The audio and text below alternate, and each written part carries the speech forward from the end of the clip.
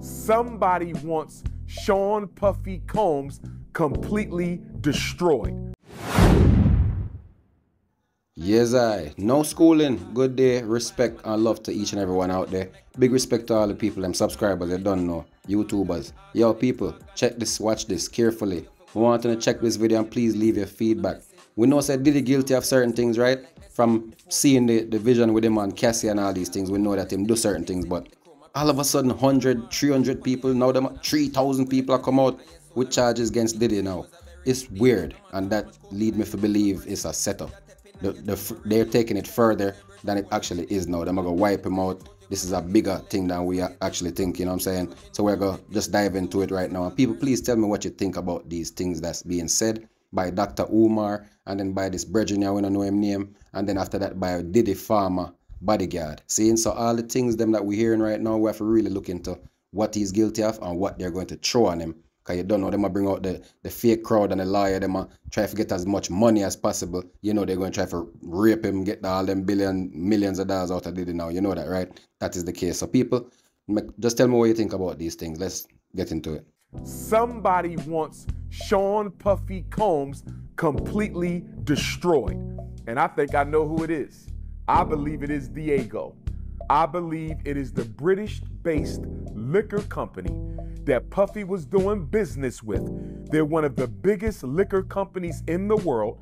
They market and sell some of the most popular brands of liquor, including Ciroc. And Diddy had an agreement with them where they would help him market his De Leon tequila brand. And Diddy took issue with Diageo because they had described the De Leon tequila liquor, Puffy's brand, they described it to their customer base as if it was an inner city, urban, quote unquote, ghetto hip hop type of liquor. And Puffy took issue with that because he said, I'm a global icon. I'm a hip hop mogul.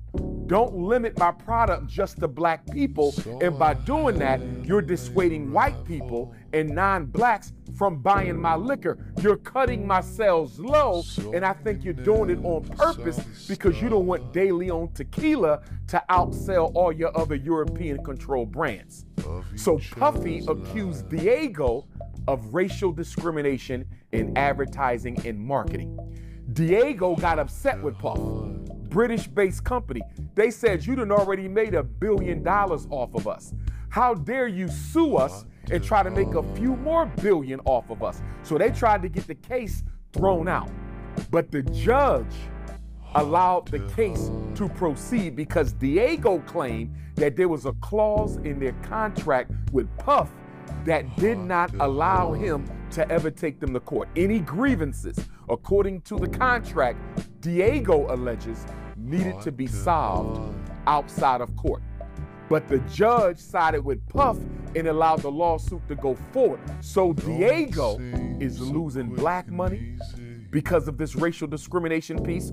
Other companies don't want to do business with them because they don't want to be uh, branded as anti black, even if they are, because everybody knows we disproportionately spend more money on liquor than any other group. So Diageo is losing money. Then on top of that, Puff then already made a billion off of them, and now Puff is suing them for a few more billion. So what do they do? They decide to settle out of court. Now check this out. Diageo and Puff settled out of court in January 2024. Puffy's homes are raided in March. There's no way you're going to convince me that a company that powerful, Diageo operates in 180 of 194 countries in the world. They operate in 180 out of 194 countries in the world. You are not going to convince me that one plus one does not equal two. There is no way they were forced to settle with Puffy in January, and less than two months later, his homes are raided. And I'm gonna tell you how Puffy, how I believe Puffy gave them the ammunition to go after him on. When Cassie, when Cassie made her accusations against Puff, he settled in about 24 hours. and they settled in November of 2023. Mind you, he's already in court with Diageo since the spring of 2023. Watch this timeline. He sues Diageo in the spring. Cassie comes out in the fall. He settles with Cassie in 24 hours. Diageo is watching this. So when Diageo decides to settle with Puff outside of court, they did this knowing full well we about to go after you and destroy you. You are messing with the Illuminati. You have no idea who you effing with, Sean Combs. And when Puff was so quick to settle with Cassie, that showed the whole world he was vulnerable. You want to know why Diddy did what he did? We have to go back to LA. Why LA? Why LA? Listen up. Lee, let me introduce you to Carter's theory of criminal investigation. Criminal investigation. Follow the rich white man. Follow the rich white man. Follow the rich white man. Exactly. Now you're learning. Every big crime has a rich white man behind it waiting for his cut. Now, huh? Every crime has a rich white man waiting behind the scenes, waiting for his cut. Now we know who it could be. Some of you are saying Jay Z. He's not white. Some of you are saying Clive's Clive Davis, whoever that is. Is that him? No. We've got to go to LA and check out the rich white guys Diddy was hanging out with. That will tell you who is behind this whole thing. Are you in or are you out? Here's the big problem, people. Diddy opened the door for speculation from every angle.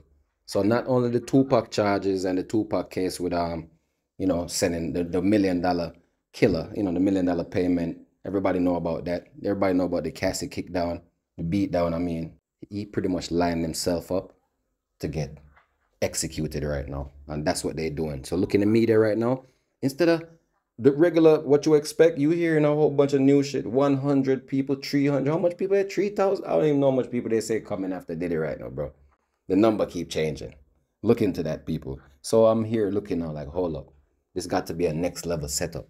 This is not normal. Let's dig in. In addition to the violence, the indictment alleges that Combs threatened and coerced victims to get them to participate in the freak-offs. He used the embarrassing and sensitive recordings he made of the freak-offs as collateral against the victims. And just two things I noted from the indictment that were interesting to your point, the, the discussion of video evidence. Now, it doesn't say from what I read in the indictment explicitly that there is video evidence different from the recovery of the lubricant and the um, and the firearms, but it does suggest from the way that it's written that there is video potentially. Uh, and I know I'm not supposed to say that part out loud, but s- some people need to be put down, like the dogs that they are. Um, and I'm not saying that I'm calling for the execution of Diddy, but if it happened, I think the world might be a little bit better off. Diddy's freaky past has officially caught up to him. The tapes we never thought would surface have been found, and what they reveal is way worse than anyone expected. We're talking about crimes that could put Diddy behind bars for life. This scandal is bigger than we imagined, and it's only just beginning. Brace yourself, because what you're about to hear will leave you absolutely shocked. So One of the biggest mistakes Diddy made was doing that energy vampire shit he was doing. Sucking energy from these little young girls, young women, 50 year old, 54 year old, whatever age, dating 19, 20 year old woman. All of that right there drag him down. I called it out earlier. I said something is wrong with this dude. Something is up with this dude. Anytime you see men doing weird shit like that, they're into anything kinky, weird. Like, bro, leave the little young woman them for the little young man them. Dude, get somebody that's 35, 40, you know, closer to you. Damn, bro, like not even 35. You 54, bro. Get somebody that's 40, man. You trying to go back 19 year old. Something was wrong from that get go. I seen that. So he buried himself pretty much. That's why they could put his name, could tarnish him now to the worst levels because of his own actions, people. Still, after much observation, I realized a lot of people, these people were down with it. Like Steve Harvey was vacationing with you and his little 20 year old daughter. So they already was into the weird stuff. They you probably they probably pimped her out to you so you could get him a check. So you know, so that's type of weird shit going on over there. Seem like so did he? Wherever come for him right now, people, he lined it up for himself. Check that. The biggest secret in the entertainment industry that really wasn't a secret at all has finally been revealed to the world. The wall of silence has now been broken, and victims are coming forward. Our team has had at this point more than 3,285 individuals contact us with people claiming people claiming to have been victimized by Sean Combs. After vetting, we now represent 120 individuals who intend to bring civil claims in civil court against Sean Diddy Combs, as well as claims against many other individuals and entities that we will name as defendants as we file these individual cases.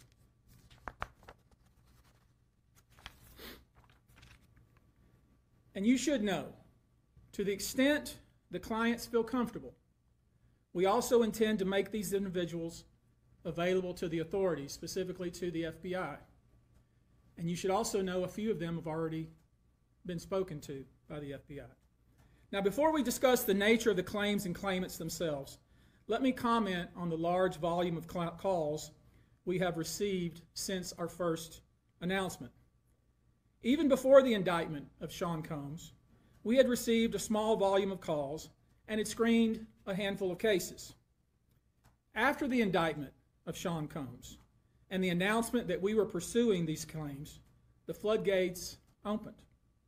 People who wouldn't otherwise, for a variety of reasons, are now stepping forward to make their voices heard and to pursue justice. Another instance, this individual who was nine years old at the time uh, was uh, taken to a audition in New York City with Bad Boy Records.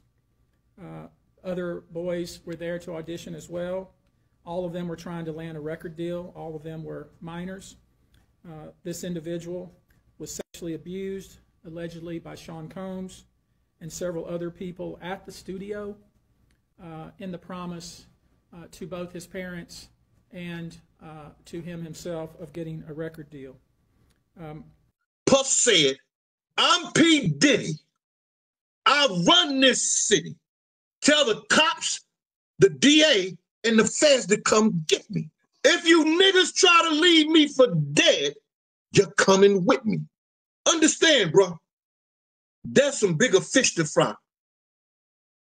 And the feds gonna make sure they get the fish that they want to fry. They're gonna build this shit up to make him want to tell everything he know it. Oh yeah, he gonna snitch. He gonna tell it. You know how long this man been talking. Tupac was the first one was calling Diddy out. Then Gene Deal been talking way before all these allegations came up. Now, people what you gotta realize is that the chicken them come home to roost. That's how them call it. Right? That's what them call it. So right about now, you can see even Justin Bieber face falling apart. Ever since Diddy get in trouble, even Justin Bieber face crashing. Seeing the robot crash. See me? All the drugs with them get a little youth right now, mash him up. To the point of right now, he might try to cope. Or either him play a game with people or him face really stroke or you got a stroke in the face type thing. As you can probably see from my face, um, I have uh, this syndrome called uh, um, Ramsay Hunt syndrome and it is from this virus that um, attacks the nerve in my ear and my facial nerves and has caused my face to have paralysis. As you can see, this eye is not blinking. I can't smile on this side of my face. This nostril will not move. So there's full paralysis in this side of my face. So for those who are frustrated by my cancellations of the next shows, um, I'm just physically, obviously not capable of doing them. Uh, this is pretty serious, as you can see. Um, I wish this wasn't the case but obviously my body's telling me I got to slow down. And um, I hope you guys understand. And uh, I'll be using this time to just rest and relax and get back to 100% so that I can um, do what uh, I was born to do. But in the meantime, this ain't it. I gotta I gotta go get my my rest on so that I can get my face back to where it's supposed to be. Um, I love you guys. Thanks for being patient with me. And uh, I'm gonna get better. And I'm doing all these facial exercises to get my face back to normal. And um, it will go back to normal. It's just time, and we don't know how much time that's gonna be, but it's gonna be it's gonna be okay. And I have hope, and um, I trust God, and um, I trust that this is all gonna it's all for a reason, and um, I'm not sure what that is right now, but in the meantime, I'm gonna rest, and I I love you guys. Peace. Hey, check out this next video, fam. Crazy. Please subscribe, like, share, stay tuned. Please also leave your feedback. Big up. Nice.